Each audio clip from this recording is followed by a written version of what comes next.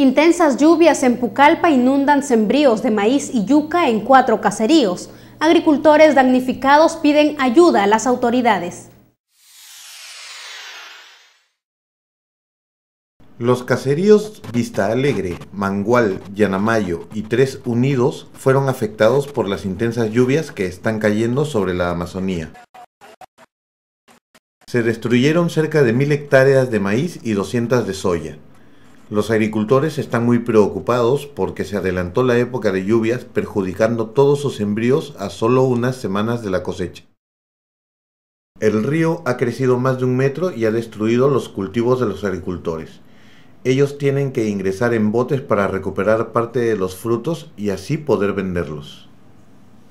Las autoridades del sector agricultura deben interesarse en los agricultores para protegerlos y evitar que colapse la agricultura y por ende la economía ucayalina.